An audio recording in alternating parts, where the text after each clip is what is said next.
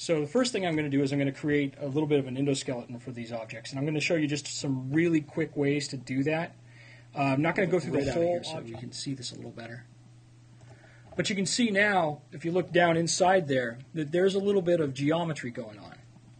And what that does is it gives the, the wing a little bit more thickness, a little bit of a sense that it's Like actually been built curved. as fast as possible. So this this is not exactly the you know the uh, the most accurate um, piece, but it's to prove the concept.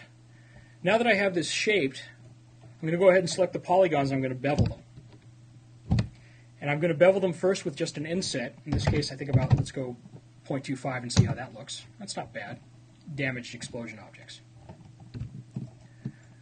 Okay, so we have a basic concept of how we're going to develop the skeleton. The next thing I want to do is I want to take those uh, damaged pieces and I want to make them a little more organic, a little make the damage look a little more